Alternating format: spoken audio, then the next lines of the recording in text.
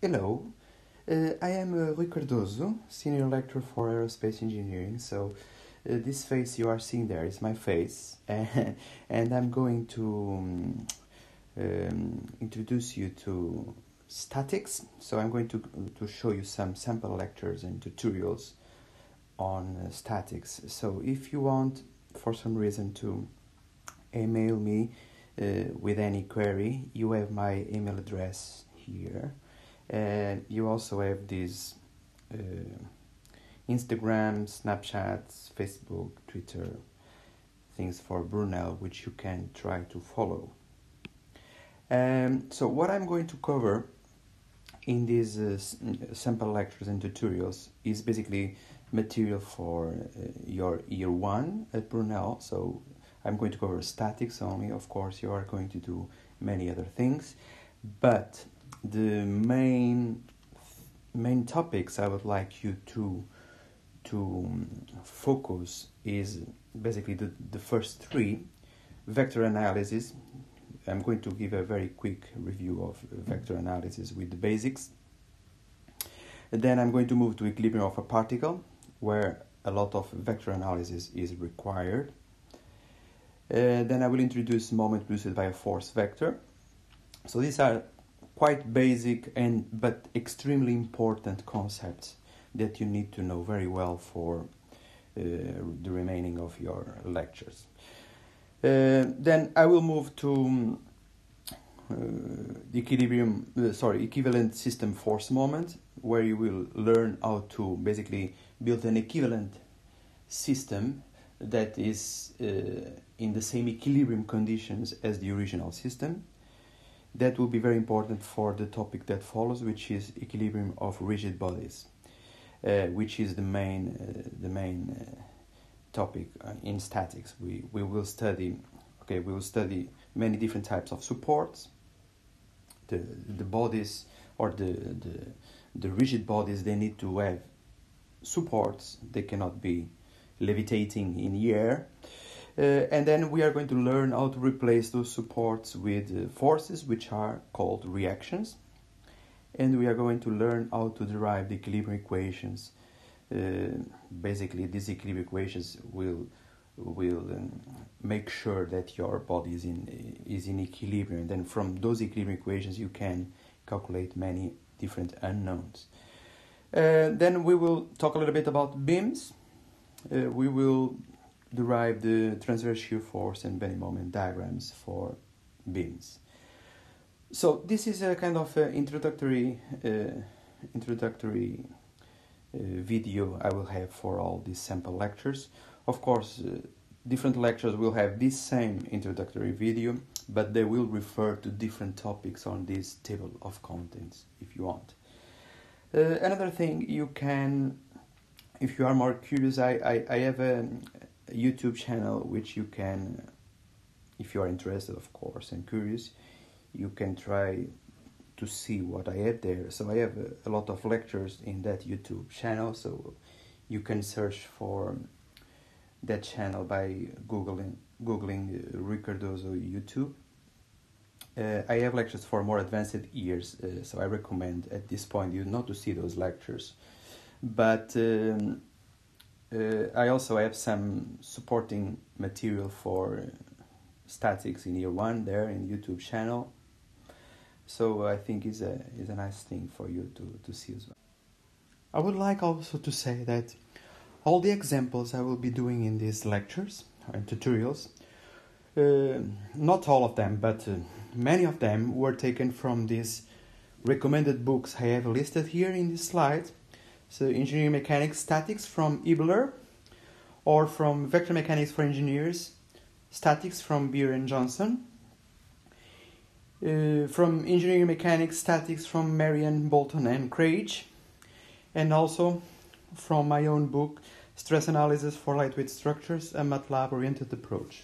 So all the examples you will see in the videos, sometimes I refer which book I've taken the example, sometimes I don't, but these are the books that we, uh, that, sorry, that I, I, I follow. So in case I forget to mention which book I took the example, you have here the list of books, uh, so you, you know where they came from. Right, thank you. So we will move now uh, to the specific lecture. Uh, so my plan now until so we have more or less 30 minutes until the end of the lecture today.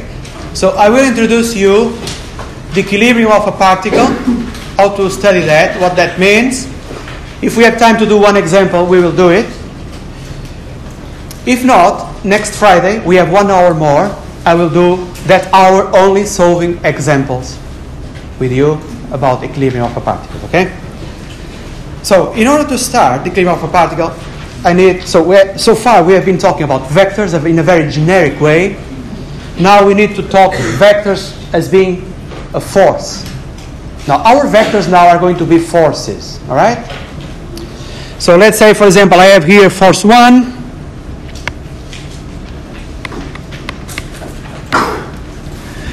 And I have here force 2. And I have here a particle. Let's say particle A. So these two forces, they are two vectors, F1, F2. They are applied in this particle A. And what I want to do now is I want to obtain the resultant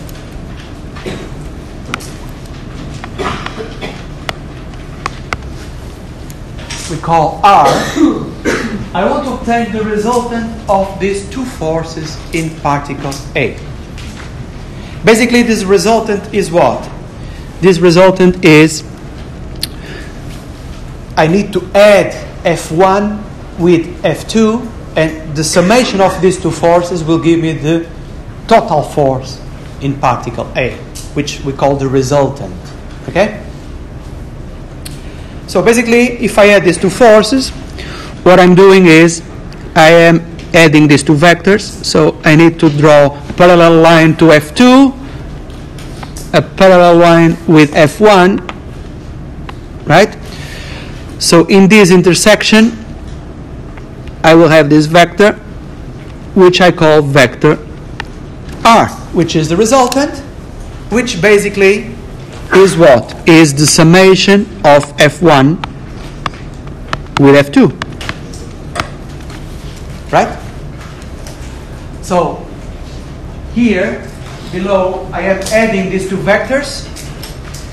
In the figure I am adding these two vectors F1 and F2 graphically by using the parallelogram rule. So this is equivalent. So if I will say that this system is equivalent to adding a particle A here and having only the resultant. Okay? So basically what I'm saying is original system with two forces F1 and F2 is equivalent to this second system here below, where we have same particle A, and only one force applies to the particle, and that force, in order for these two systems to be equivalent, that force needs to be the resultant. Or basically the summation of all the forces acting on the particle. Alright? So we will have to do addition of vectors to get the result. Something we did today Okay, so we have now a particle under the action of one single force, which is the resultant. How do I say that this particle is in equilibrium? So what I have to do is,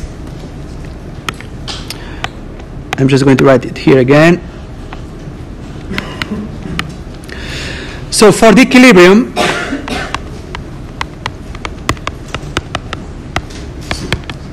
of this particle, what I'm going to say is that this resultant needs to be equal to zero.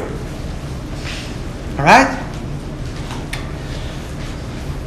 So, this is quite trivial.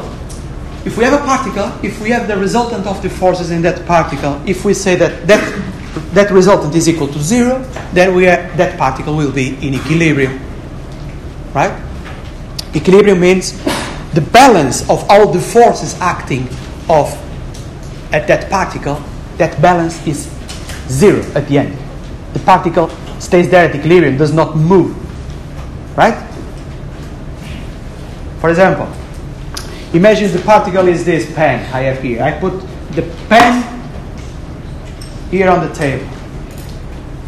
It's not moving now, it's in equilibrium, right? Why? Because you have what are the forces acting on this pen? You have the force of gravity, right? And then you have the reaction of the table with the on, the pen.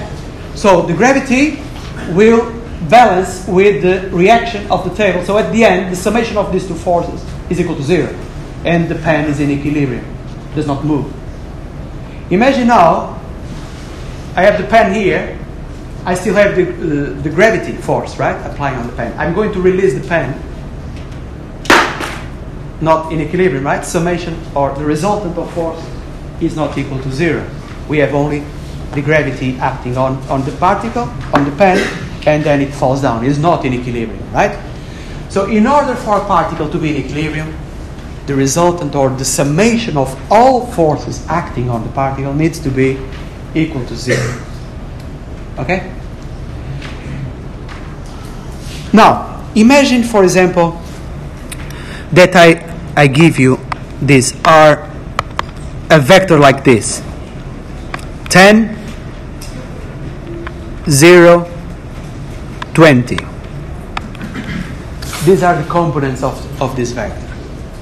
So what happened in the past, many of your colleagues tend to say, because they see a zero in a component, they tend to say the resultant is equal to zero, which is wrong.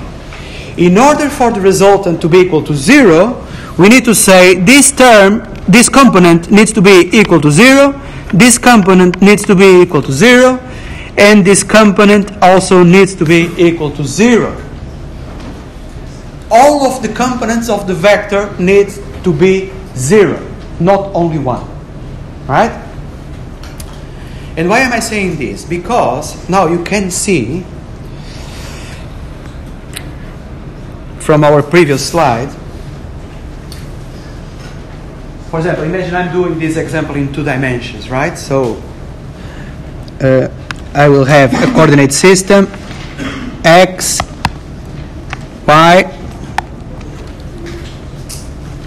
This y is, is not very good. Let's do it again. We have a coordinate system. I'm going to say this resultant, so maybe I can delete this to get some space.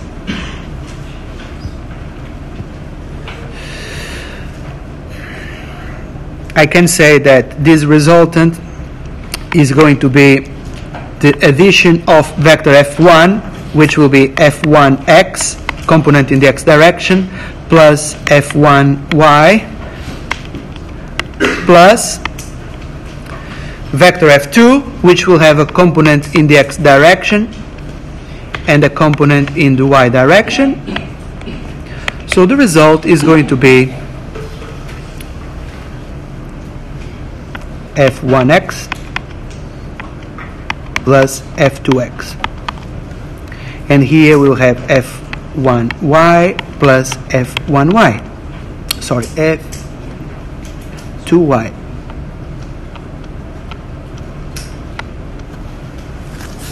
So basically what I'm doing is I am adding two vectors. Uh, the way we do that, add two vectors is by adding component by component of the vector. So adding component f1x with f2x, then I, I get the, the x component of my resultant. Then I add f1y with f2y, and then I get the y component of my resultant, right? And then what I have to say is, I'm struggling a bit with space here, so let me do this way so maybe I can delete this let me see if I delete I'm going to delete this figure and work only with the vectors.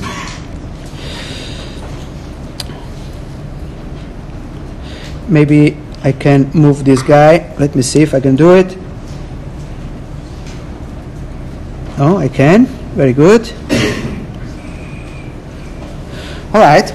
So now what I'm going to say for the equilibrium for the equilibrium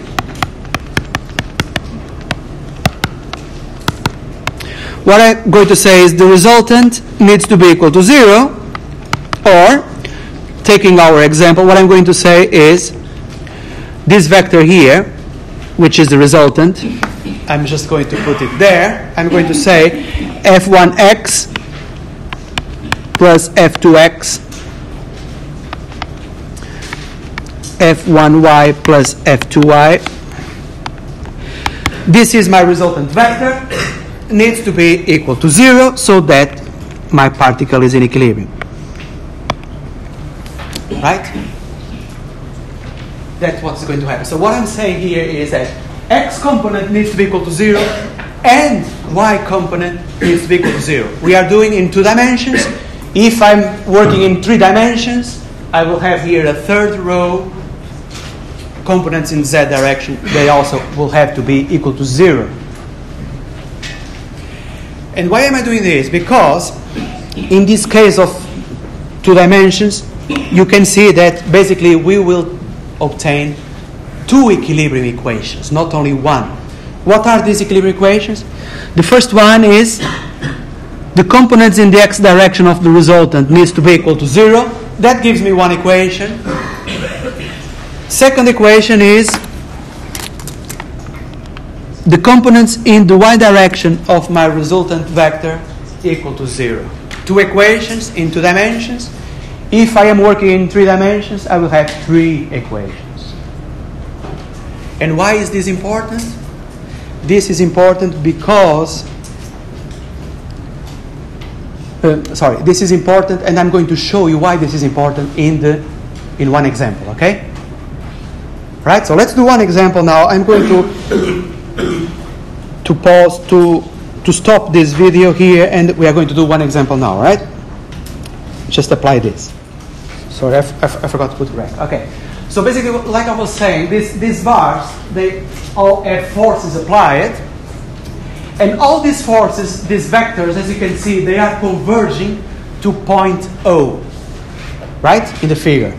So basically what i'm saying is that we can just take point O, I'm going to put it here, this is point O, and we can represent all the forces that we have applied on this point O. So we will start with this first one here, 8 kilonewtons, which is, so I'm going just to put this force over here. I'm going to say this is 8 kilonewtons I'm not writing now a vector uh, in top of this 8 because this 8 kilonewtons will give you the, the intensity or the value or the norm of this force and the, the direction is given by this arrow, right? So it is applied in point A, uh, O, sorry. What else do we have? We have this force now here, can you see? Which is a force T, is a tension T, which is unknown, I think, is unknown. But anyway, is a, a, a force that is also applied at point O. I'm going to represent it here. T. Okay? And this angle is 30 degrees, right? This is not very good. Let me try to. I need to zoom in a little bit. 30 degrees. This is better, right?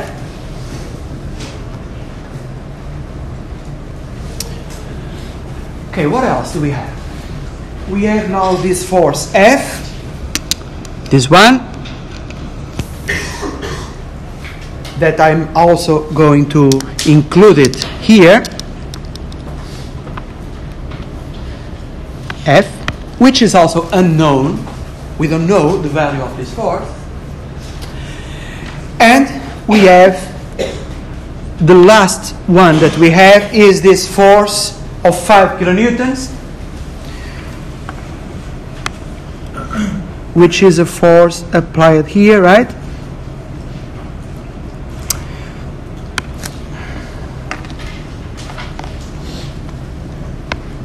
Five kilonewtons. Right? And that's all we have. So in this particle, we make a little bit bigger. In this particle, we have all these forces acting on this particle. So what am I going to do now? Well, because I have vectors here, I need to have a coordinate system, first of all. So I'm going to say this is my x axis, this is my y axis, right? And what I'm going to do now is that I'm going to obtain the components of all these vectors in this coordinate system. I'm going to add these vectors component by component, and then at the end I'm going to say that resultant is going to be equal to zero to be in equilibrium. But before we continue, I would like to take this example to introduce you a very, very important thing in statics and dynamics and everything you are going to do from now on in uni, which is the free body diagram.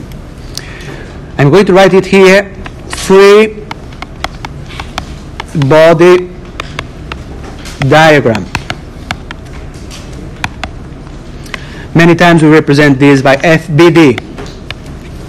For example, in dynamics in term 2, the lecture last year, they ask you explicitly to do the FBD. What is this free body diagram? Why is this so important? This is the secret to solve all these problems. If you understand this, that I did here in this example, you will have your life much easier. What I did was, I took point O from this example. This point O that you have here, I took this point and I isolated this point from the structure, right? And then I built this, this scheme that you have here, right? So basically, I isolated this point O and I represented all the forces that we have acting on this point O. Right? That's why we call this free body because I, I isolated this point from the structure. I release it from the structure. I isolated it. So that's why we call this free body diagram. And then we need, of course, to represent the forces and have the coordinate system to describe the forces and then just add all these forces together and say that summation equal to zero and problem is solved. This will be very important for the equilibrium of 3D rigid bodies, for trusses, method of joints, method of sections, beams, everything you're going to do in year two. For dynamics, is you have to do this in dynamics because in statics we say summation of forces equal to zero. In dynamics, you say summation of forces equal to mass times acceleration. That's the difference, right? So you will have to do these free body diagrams. If you know how to construct these free body diagrams, you will be very good in this model, trust me. All right, so let's continue. So free body diagram, that's what we did. So what, I, what I'm what is next step? What am I going to do now? I'm going to define all these vectors. So I'm going to start with this 8 kilonewton, okay?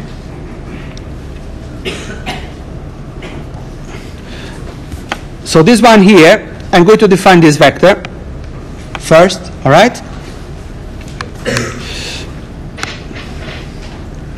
This 8 kilonewton, so I'm going to use matricial notation we have a component in the x direction only which is equal to 8. Agree with me? This is a 2D problem. So we have, this is my 8 kilonewton vector.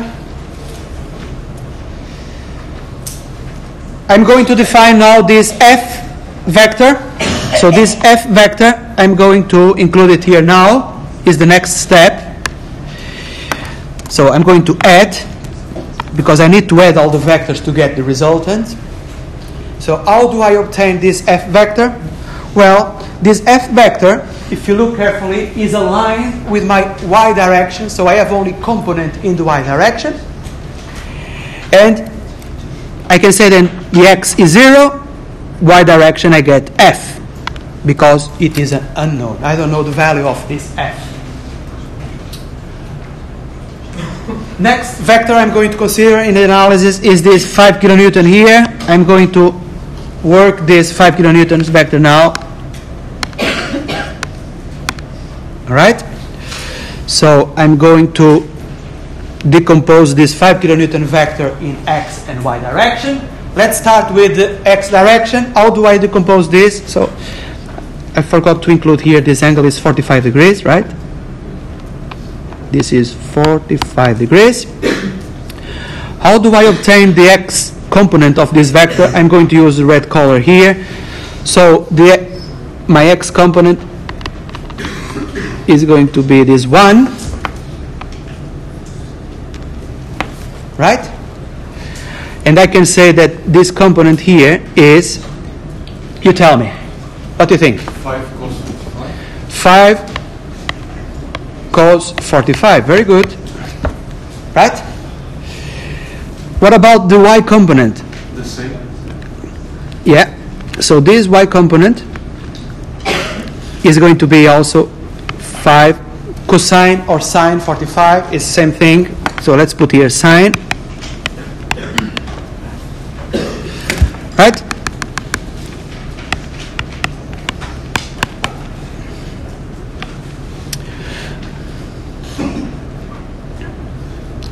Now I just need to, to take these components in red color that I just draw there and include them here, right? So I'm going to say, starting with the component in the x direction, as you said, is 5 cosine 45. And the component in the y direction, now a very important thing, what do you think it needs to be? Plus 5 sine 45 or minus 5 sine 45? Minus. Minus, very good. Look, this vector, the component, this component here in red, this component, the vertical component, it has the opposite direction with my y-axis. So for that reason, it needs to be minus. So I'm going to put here minus 5 sine 45 degrees. Okay?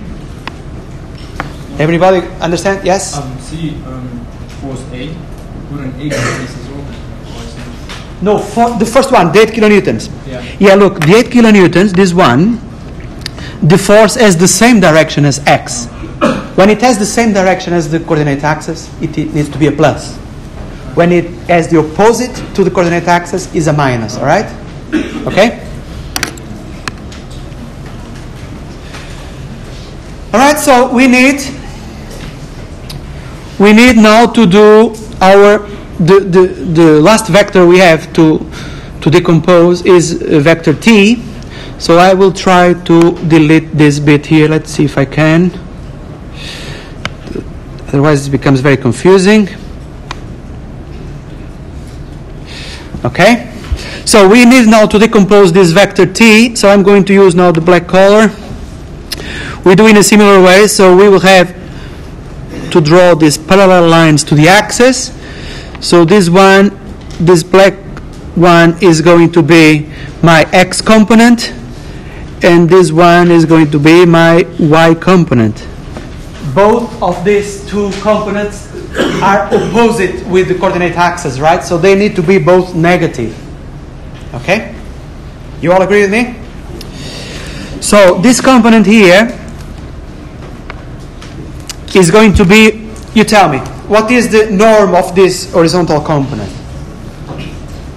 T cos 30. T cos 30, very good. So T cos 30 degrees is this component. Now this one here,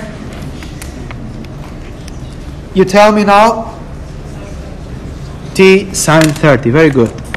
T sine 30. So don't forget this uh, is this is the length or the intensity of these components or the norm of these components. Now we need to put this we need to add this to our vector, right? So starting with the horizontal one, starting with this one, this component is opposite with x, so it needs to be a minus, right? So I will have minus t cos 30 degrees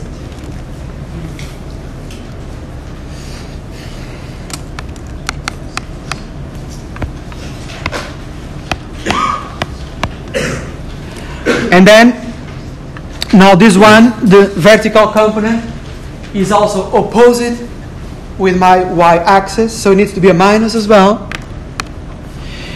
So it's going to be minus t sine 30 degrees, right? You all agree with me? And that's all we have, right?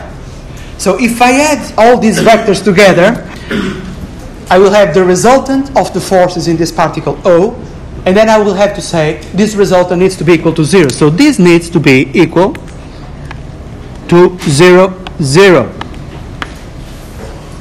All right?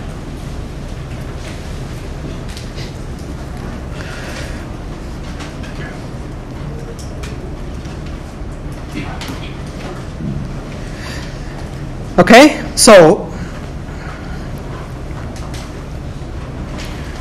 what I'm going to do now is I'm going to add all the components. No, sorry, I'm going to add, for example, for the x components, I'm going to add all of the x components of all vectors together. So I, am going to build my system of equations, right? So let's start with, let's start with this x components. So I'm going to take these x components and say, so I will have what? I will have 8 plus 5 cosine of 45 degrees minus t cosine of 30 degrees needs to be equal to 0, right? One equation. One equilibrium equation. Second equilibrium equation is if I now look at the y components, these ones here, and just write them down. So we get f minus 5 sine of 45 degrees minus t sine of 30 degrees equal to 0.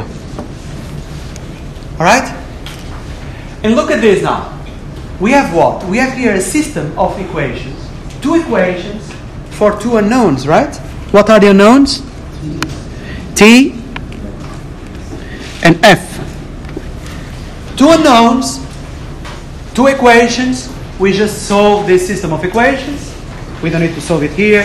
It's quite basic. We solve this system of equations and then we obtain the value of force T and the value of force F in this structure. That guarantees that my particle O is in equilibrium. All right? You see how it works? So, the idea, so we are basically finishing. Um, the idea of um, this uh, lecture today was to introduce you with vectors. I want you to, to be very careful with vectors. It's very important to understand very, very well vectors. How to decompose a vector, to get the components, do the internal products, external or cross products, add vectors together, get the resultant of the, the forces, and then the equilibrium equation for a particle is quite, quite easy, right? Okay? So next Friday, we are going to do only examples of equilibrium of particle, okay? So I hope you enjoyed. See you next Friday then.